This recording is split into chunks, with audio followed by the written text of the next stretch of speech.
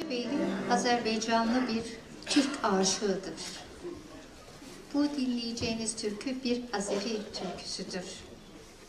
Kendisi Azerbaycan'ın milli marşını da yazan kişidir. Solistimiz Mehmet Ahıskalı'yı sahneye davet ediyorum.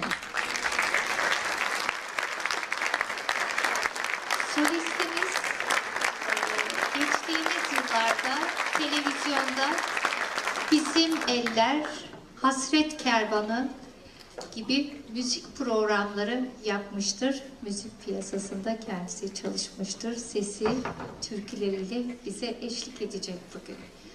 Mehmet Ağızkalı. Evet, çırpınırdı Karadeniz, bakıp Türk'ün bayrağını.